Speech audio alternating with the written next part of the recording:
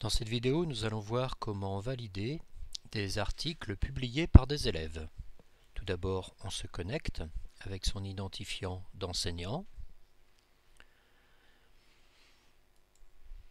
Ensuite, nous allons aller dans la rubrique des articles pour rechercher ceux qui sont en attente de relecture. Donc ici, par exemple, j'ai tous les articles. Hein. Je peux aussi cliquer ici, c'est 188 articles hein, sur le blog Lucille Desmoulins. J'ai ici dans le tableau de bord tous ceux qui sont publiés, les brouillons et ceux qui sont en attente de relecture. Ici on voit que on en a 4. Donc je vais cliquer dessus et là apparaissent quatre articles qui attendent d'être euh, relus et modifiés éventuellement hein, pour faire une petite correction orthographique notamment. On s'aperçoit également ici hein, que ces articles ne sont pas classés, donc il faudra les inscrire dans une catégorie. Donc je vais prendre euh, ce premier article, hein, je vais faire modifier.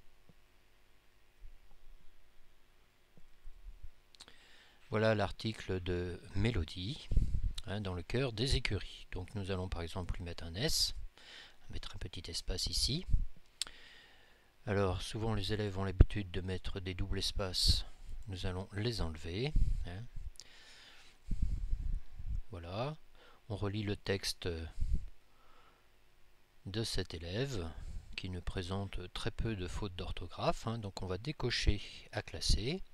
Nous allons le mettre par contre dans la rubrique séjour euh, loup-garou. Et nous n'avons plus qu'à cliquer sur le bouton publier. Voilà.